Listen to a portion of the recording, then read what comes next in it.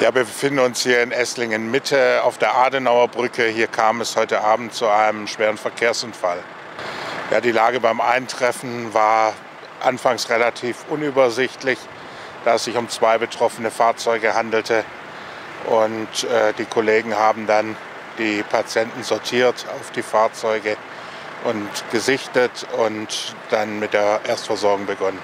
Also insgesamt wurden vier Personen verletzt und der Rettungsdienst war hier vor Ort mit vier Rettungswagen, zwei Notärzten, einem leitenden Notarzt und mir als äh, Einsatzleiter. Es war von Anfang an die Meldung, dass es sich um mindestens vier betroffene Personen handelt. Ja, das ist richtig. Eine Person war schwanger.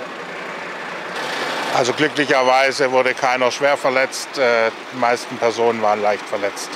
Ja, es ist immer eine angespannte Situation, wenn jemand aus der Blaulichtwelt beteiligt ist.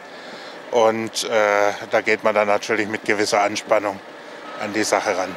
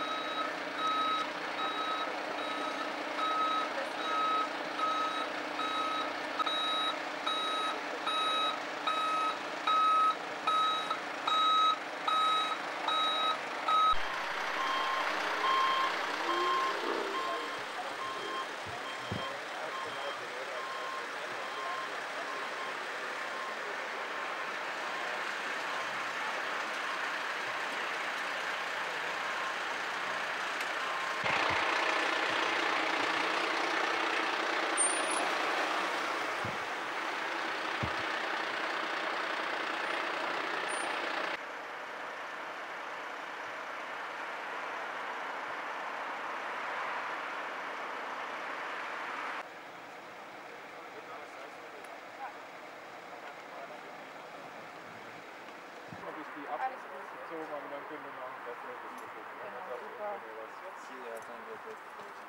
doch? Okay.